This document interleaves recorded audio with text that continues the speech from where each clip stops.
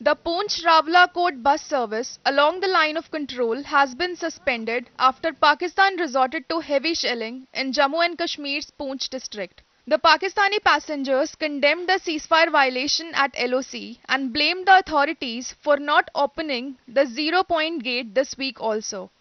The zero point gate has been closed since last week, causing inconvenience to passengers. On Monday, an army soldier and a six year old girl got killed in the ceasefire violation.